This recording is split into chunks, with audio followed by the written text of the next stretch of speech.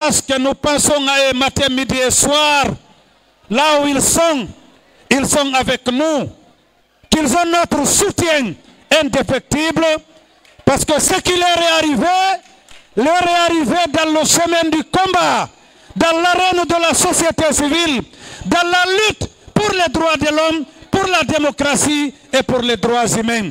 Qu'ils sachent que nous sommes ensemble, nous compatissons avec leurs épouses, leurs familles, et qu'ils sachent que nous ne cesserons de mener le combat jusqu'à leur libération effective et au retour à l'ordre constitutionnel dans notre pays.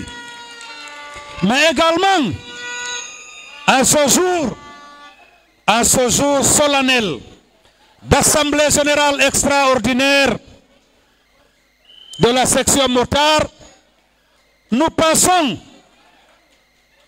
à feu président Amadouri Diallo, le premier président de la section motard qui est mort, assassiné dans l'exercice de ses fonctions. Je vous demande de lui accorder, ainsi que tous les martyrs de la démocratie et de l'état de droit, une minute de silence s'il vous plaît. Une minute de silence s'il vous plaît.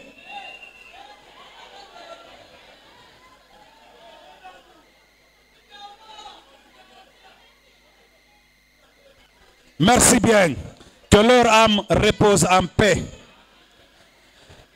Je vais m'adresser au président de la section motard.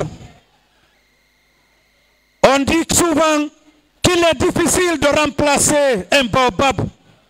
Nous ne dirons pas que la Saïdou a pu remplacer tout ce que Feu Amadouri faisait. Mais il faut reconnaître qu'il a été à la hauteur de la dignité de la fonction de président de la section motard. Il a su garder, il a su préserver, il a su promouvoir. Il a également su entretenir l'héritage lourd de Feu Amadouri. Applaudissez pour Ella Saïdou, président de la section motard. La section motard de l'UFDG, parce que j'en connais un peu, je vais parler. Il y en a beaucoup dans l'opinion publique qui, à un moment donné, ou qui toujours pensent que c'est l'UFDG qui achète des motos, que c'est l'UFDG qui leur donne des motos, que c'est l'UFDG qui les finance. Mais comme j'étais là à la première heure, j'étais là en 2007 à la fondation, je vais quand même faire un petit témoignage.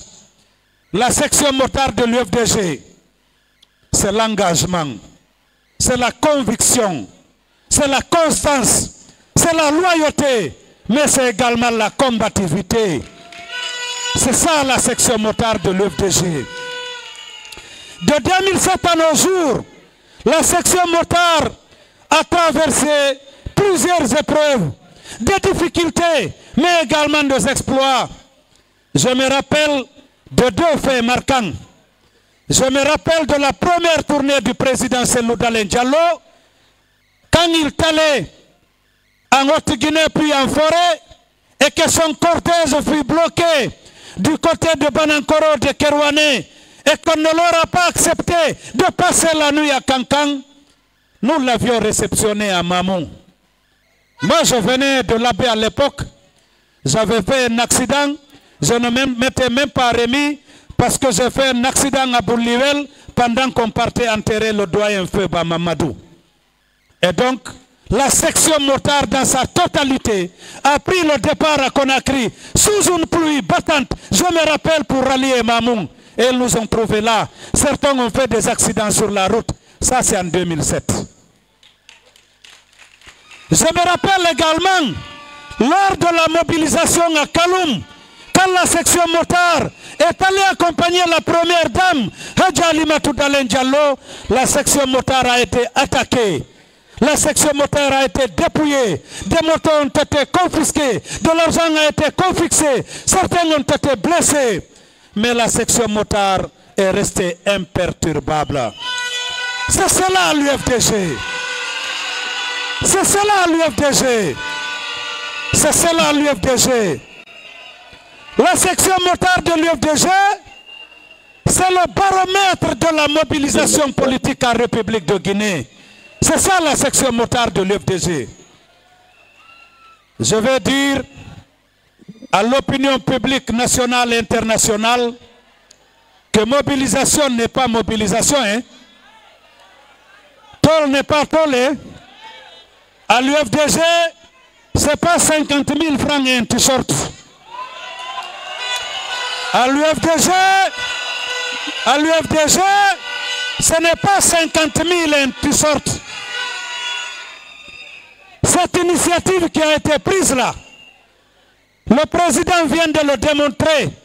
Les dix bases viennent de le démontrer. La base de Dar es Salaam vient de le démontrer. À l'UFDG, c'est la conviction. À l'UFDG, le militant achète sa tenue. Le militant achète son t-shirt. Le militant confectionne sa casquette. La section motard achète sa moto. La section motard met son carburant. La section motard mobilise pour l'UFDG. Alors, alors, s'ils veulent voir de la mobilisation, qu'ils sortent du deux poids, deux mesures. S'ils veulent voir de la mobilisation, s'ils veulent voir un carnaval, mais ils savent, ils savent que l'UFDG, ils savent que l'UFDG, on ne peut pas se comparer à l'UFDG. Tous qui ont essayé, on laissé soit des plumes et même parfois des dents. C'est évident. On ne se compare pas à l'UFDG. En matière de mobilisation, en matière d'élection, on ne se compare pas à l'UFDG. En matière de leadership et de sa popularité, on ne se compare pas à celui d'Alain. C'est ça la vérité. Alors, s'il s'agit de mobiliser, s'il s'agit de démontrer, s'il s'agit de réceptionner, ils n'ont qu'à permettre à tous les Guinéens de s'exprimer de la même manière. Ils n'ont qu'à permettre à tous les Guinéens de manifester. Parce qu'aujourd'hui, nous avons l'impression de vivre dans une nation à deux républiques. Une seule nation, mais deux républiques. Il y a une première république. Il y a une justice. Il y a une sécurité. Il y a des forces de défense et de sécurité. Il y a une administration pour la première république. C'est ceux-là qui disent ad vitam aeternam, pas de retour à l'ordre constitutionnel, pas de démocratie, pas d'état de droit, pas d'élection en République de Guinée. Ceux-là, on les applaudit. Il y a une justice pour eux, il y a une sécurité pour eux, il y a une administration pour eux. L'autre république de la même nation, c'est nous, les citoyens pro-démocratie. C'est nous, les citoyens pro-démocratie. C'est ceux-là qui se battent pour améliorer les conditions de vie des Guinéens. L'autre république de la même nation, c'est vous la presse. Ce sont les acteurs de la société civile, conscients des enjeux et des défis à relever. C'est nous les acteurs politiques qui voulons une démocratie apaisée pour enfin développer notre pays. Pour que de la minière à la cimenterie, nous puissions rouler en cinq minutes. Aujourd'hui, tenter de rallier du Breka, il vous faut trois heures de temps. Souza, est témoin. Souza est témoin. Trois heures de temps pour aller à Dubreka. Moi, je partais chaque deux semaines à la. Mais maintenant, c'est chaque trois mois. Parce que de Mamoun à la baie, il me faut sept heures de temps pour moins de 150 km. Et donc, qu'on permette à une partie de la population de dilapider de façon, dans toute impunité, les ressources du pays, de faire l'achat de conscience, de braver ce qu'on appelle les interdits entre guillemets, parce que pour nous, ce que la charte a consacré n'est pas du tout interdit.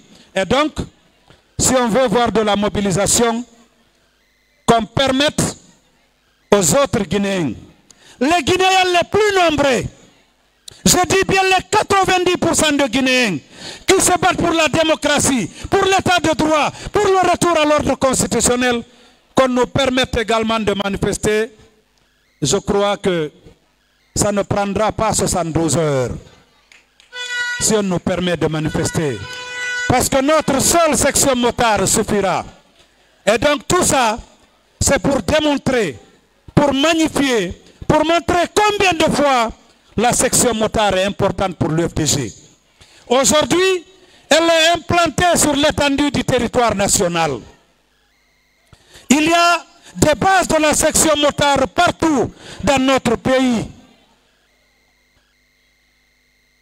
Messieurs les membres du conseil politique, messieurs les membres du bureau exécutif, ce que nous sommes en train de démontrer là, cette mobilisation spontanée, extraordinaire, même pas préparée pendant deux semaines, prouve à suffisance si le besoin en était que l'UFDG est prête à gouverner la Guinée. L'UFDG est prête à gouverner la République de Guinée. Le président Selou Dalen est prêt à prendre le pouvoir d'État la République de Guinée et à gouverner notre pays. Instaurer la bonne gouvernance. Vous savez pourquoi? Est-ce que vous savez pourquoi l'UFDG est indéboulonnable? Est-ce que vous savez pourquoi Selou Dalen Diallo est indestructible? Est-ce que vous le savez? C'est grâce à vous. C'est grâce à vous. C'est grâce à vous. C'est grâce à vous. Depuis 2021, depuis 2021, il y en a qui ont promis aux autorités du pays de leur donner trois mois ou six mois qu'ils vont détruire Seloudaleng et détruire l'UFDG. C'est un rêve. C'est un rêve. Parce que je l'ai dit, l'UFDG est une institution politique. L'UFDG est même devenu un patrimoine politique. J'aime souvent comparer l'UFDG à l'ANC. Nelson Mandela est décédé il y a longtemps. Mais l'ANC ne fait que remplir et gouverner l'Afrique du Sud. Et rassurez-vous qu'après la fin de la transition le 31 décembre 2024, Selou sera élu président de la République. Il fera ses deux mandats et après lui, c'est l'UFDG qui continuera à gouverner la Guinée. C'est l'UFDG qui continuera à gouverner la Guinée. C'est pour cela que je vais lancer un appel solennel. Un appel solennel à la mobilisation. Un appel solennel à la persévérance. Un appel solennel à la constance. Rassurez-vous. Rassurez-vous que nous allons y arriver. Soyez convaincus que nous allons y arriver. Soyez convaincus que le président Selou arrivera bientôt. Et il sera président de la République. Le président Selou arrivera bientôt. Et il sera président de la République. Certains disent non, le président Selou lui-même dit non, il ne va pas rentrer au pays. Nous sommes en politique. Nous ne sommes pas en social. Nous sommes en politique. Le président Selou est en phase avec son bureau politique national. Il est en phase avec son bureau politique national. C'est le lien, le moment de vous dire que nous avons bouclé les congrès de fédération pour la zone de la Moyenne-Guinée. Si vous ne nous avez pas vus ici pendant plus de trois semaines ou de deux mois, parce que nous étions en mission à l'intérieur du pays, nous avons fait 12 fédérations pour la Moyenne-Guinée. Aujourd'hui, des bureaux légaux et légitimes sont installés. Nous avons fait plus de 150 sections et nous avons fait réinstaller plus de 1000 comités de base. Dans la basse Guinée, nous avons fait Kindia, nous avons fait Koya et nous avons fait ici le congrès de Ratoma. D'ici la fin du mois, les autres fédérations de Conakry se préparent et nous vous annonçons officiellement et solennellement, aussi bien à la presse qu'aux responsables et militants de l'UFDG, à partir du 10 octobre, nous allons nous redéployer en Guinée forestière et en Haute-Guinée. Nous allons nous redéployer en Guinée forestière et en Haute-Guinée. Les délégations qui sont allées, au nom de ce que vous savez, nous arrivons derrière. nous partirons en Haute-Guinée, nous partirons en forêt, parce que ce sont des bastions de l'UFDG. Et nous allons leur dire qu'est-ce que le président Selou Diallo compte faire pour prendre le pouvoir et arrayer la souffrance des Guinéens? Arrayer la souffrance des Guinéens. Sur ces mots, nous n'allons pas faire attendre longtemps le président de l'UFDG.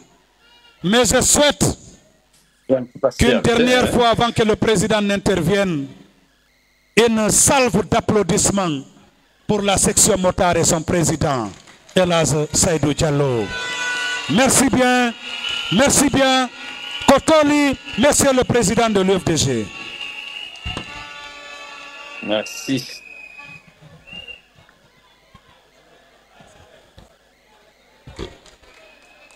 Félicitations au président de Science. Un communiqué des associations de jeunes leaders du Fouta organise une soirée le 2 octobre 2024 à partir de 18h à Morikantea. Les artistes invités sont Abib Fatako et Karim Souley. Signé Salou Paikou. El maestro.